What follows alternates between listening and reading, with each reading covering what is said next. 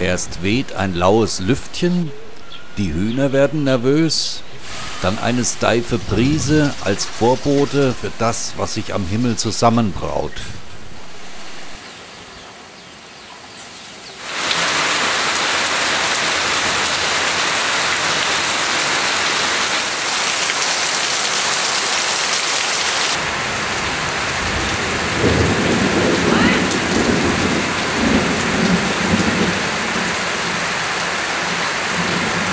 Ja, in einen solchen Gewitterguss sind wir auch geraten auf unserer Anreise hierher. Da saßen wir aber hinten auf dem Pickup und hatten nicht die Möglichkeit, unter einem Dach unterzuschlüpfen. Wenn hier so ein Nassauer runterkommt, dann dauert es nur noch Minuten. Da verwandelt sich die Straße in einen See. Gullis gibt's ja hier nicht. Naja, bei den Betonstraßen, da mag's ja noch gehen. Aber die unbefestigten Seitenstraßen, die weichen im Nu auf. Die werden dann glitschig wie Schmierseife.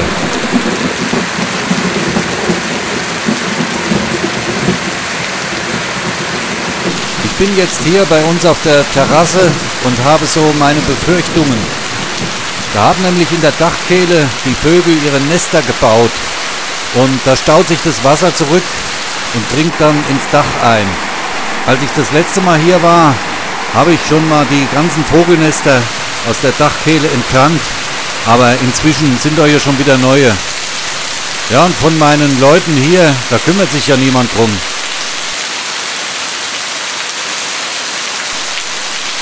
Eieieiei, da ist es schon passiert. Da hat sich so viel Wasser in der Unterdecke gestaut, dass eine halbe Platte runtergebrochen ist. Ja, da sieht man es ja.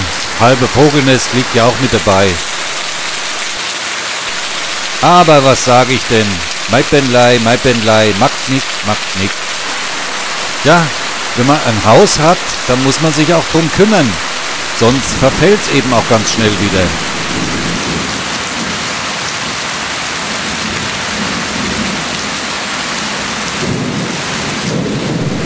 Die Thais sind ja von Natur aus relativ unbekümmert und nehmen alles nicht so schwer.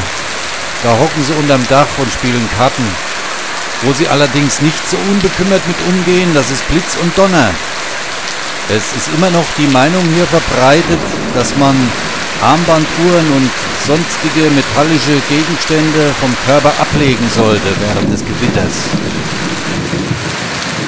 Nun, es kommt hier aber auch immer wieder vor, dass Bauern auf dem Reisfeld vom Blitz getroffen werden.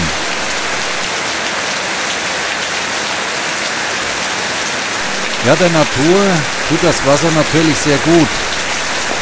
Es war in der Vergangenheit jetzt wieder sehr trocken und da ist so ein Regen natürlich willkommen. Der Ententeich auf unserem Bauernhof am Rande des Dorfes, der liegt auch derzeit trocken. Und für die Landwirtschaft wird es allerhöchste Zeit, dass es wieder mal öfter regnet. Nun, im Moment scheint der erste große Schub vorbei zu sein und der Schauer nachzulassen.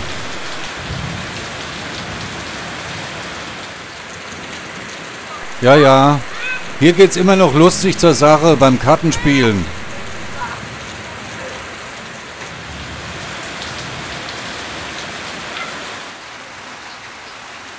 Und hier sehen wir jetzt mal eine Thailand-typische Regenwasser-Auffanganlage. Das Regenwasser ist ja hier unser Trinkwasser. Aber wenn genug da ist, wird es natürlich auch zum Waschen verwendet.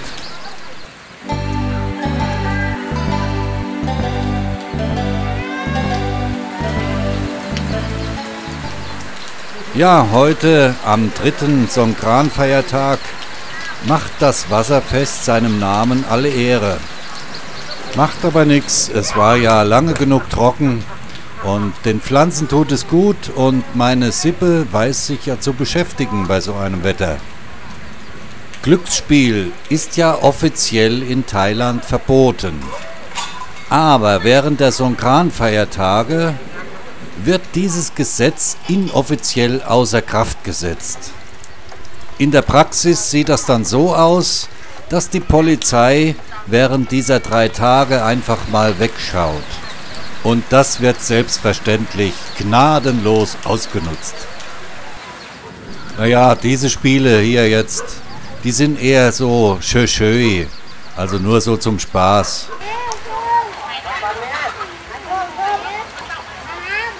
Hier ist der kleine Brandstifter, der uns auf Balkonien beinahe die ganze Bude abgefackelt hat. Jetzt spielt er im Wasser. Das ist mir wesentlich lieber, als wenn er mit Feuerzeugen umhergurgelt. Naja, weil seine Mutter, die passt aber auch nicht richtig auf auf ihre Kinder.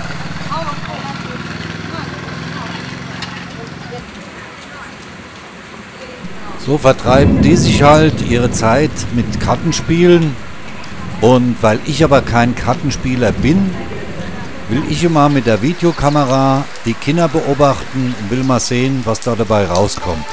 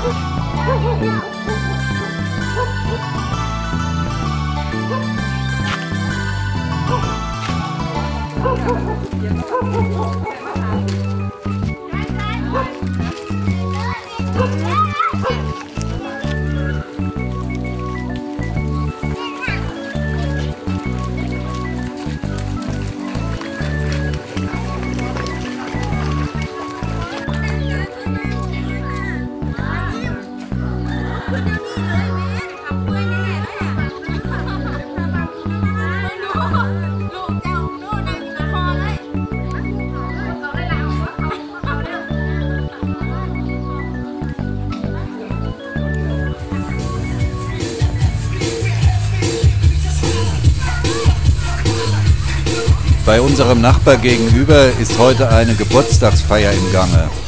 Ja, Joyce, Tochter Jane, ist heute 16 Jahre alt geworden und da ist so ein bisschen Jugendtreff auf der Ecke hier. Da habe sie ja Glück, dass der Gewitterschauer heute Nachmittag schon runtergekommen ist. Sonst wäre es nicht so schön zum Feiern gewesen. Naja, es ist aber immer was los bei uns im Dorf. Insbesondere bei uns auf der Ecke hier. Ecke 89. Mit dem Videofilmen, das geht nachts nicht so gut.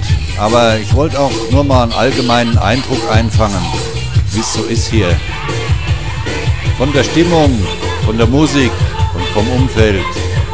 Das ist ja hier von meinem Schlafzimmerfenster aus gefilmt. Da brauche ich mich noch nicht zur Ruhe zu begeben, solange die noch feiern hier. Ja, aber lassen wir der Jugend ihren Spaß. Von mir aus können sie die ganze Nacht durchmachen. Ich habe da überhaupt kein Problem mit. Aber mit Videoaufnahmen werde ich es für heute erstmal genug sein lassen. Obwohl, dass ich schon auf Nachtmodus umgestellt habe, wird nicht mehr allzu viel zu erkennen sein hier auf den Bildern. Ich bin ja auch nur mit etwas schon veralteter Amateurfilmtechnik ausgestattet.